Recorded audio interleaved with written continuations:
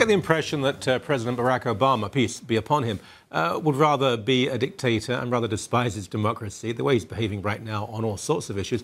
Uh, one being immigration. Uh, you don't really meet people who are anti-immigration. I'm an immigrant to this country. I mean, most, uh, well, most many people in North America were born somewhere else, including in Canada and the United States. It's not legal immigration and looking to the host population and how can we improve the lot of everybody. But illegal immigration, irresponsible immigration, these are major issues for everybody, including, by the way, perhaps especially immigrants already in a country who want to make their way and do the right thing. Peter Brimelow is one of the, the few journalists who, who's written courageously and honestly about this uh, subject over the years. Welcome to you, Peter. Happy New Year, Michael.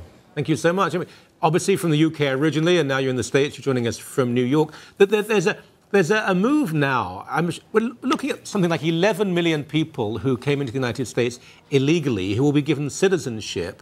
And of course, Barack Obama knows if this happens, they'll be guaranteed Democrat supporters forever.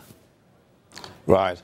Uh, the, the, the number's somewhere between 12 and 20 million. Nobody knows for sure. Wow. Oh yeah, nobody knows for sure, but we do know that the last time there was an amnesty, uh, the people, the number amnesty was about three times what they originally they originally predicted. Phew. Now, again, many of these are good people. I'm not saying that, that they're all appalling people, but they're in a country illegally. That should be the end of the argument, should it not?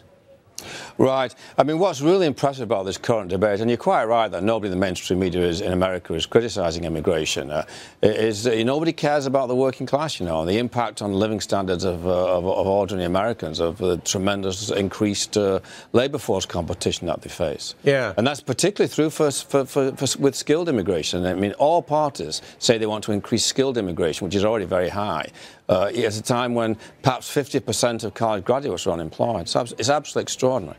An example, I'm afraid, of, uh, of, what we can only call corruption in American politics is that we're in a new gilded age here, and, and corporate money just dominates everything. Yes, and of course, it's, it's not just the United States. I've seen this in Europe too people who live in, in very nice, exclusive neighborhoods never have to worry about local crime or, or, a transformation of their neighborhoods. In the United States, speak to both the white and the black working class and ask them how they feel about immigration, because they're the very first people to lose their jobs, to see their neighborhood being transformed before their eyes, right. but they're never listened to.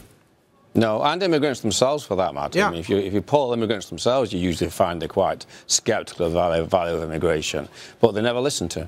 If you look at the economics of it, you know, for, for more than 20 years, Michael, uh, uh, Labour economists in this country have been saying that there is actually no benefit, net benefit to the native born from the immigrant inflow.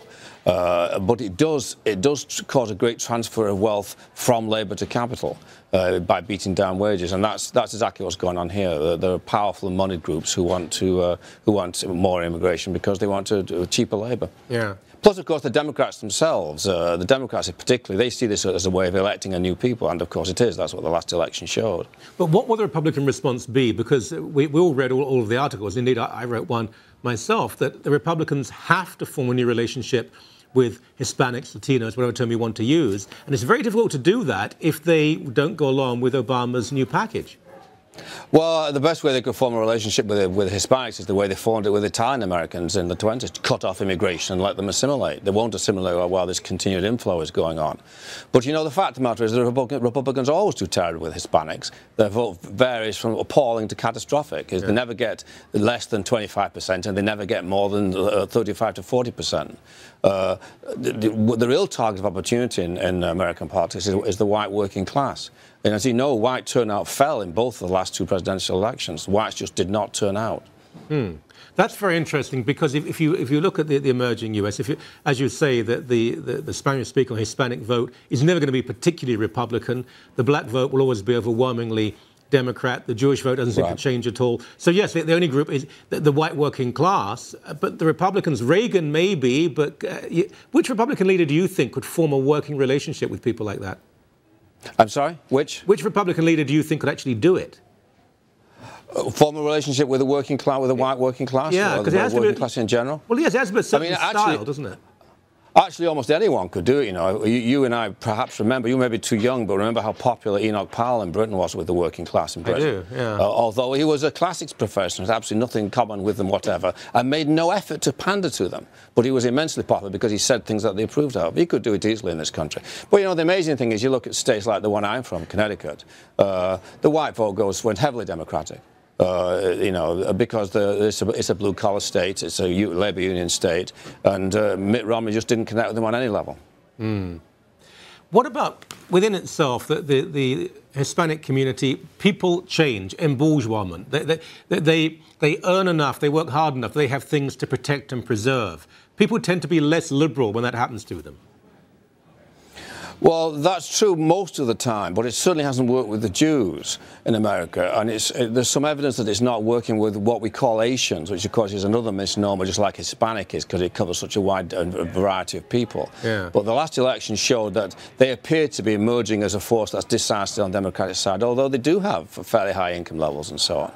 Uh, so it's a, it's a, for the outlook for the Republicans is very bad unless they cut off immigration, which is the last thing that the congressional party is talking about. Yeah. But I, I think the congressional party. I mean, there's a lot of evidence that it's uh, the polls to show that the, the grassroots of the feel that the congressional party is completely out of touch with them. I think in the end we'll see a third party here. Really? And that I, I, think the Republican Party is terminally corrupt. I think it's, it just needs to. It's going to have to be replaced by a grassroots party. I also think, by the way, talking about Obama, I think there's a good chance he's going to be impeached. He should have been impeached over the way he's handled immigration because he's just unilaterally used executive orders uh, to, to, undo uh, enforcement of, uh, of, of, of, immigration law. Yeah. But now he's about to do exactly the same thing with gun with guns, and that's really serious yeah. because Americans really do care about the guns in a way in which you know you and I, growing up in uh, a country where, where there were no guns don't really appreciate. Yeah. That will get to the white working class. You're never, never going to get the guns out of the hands of the American white working class.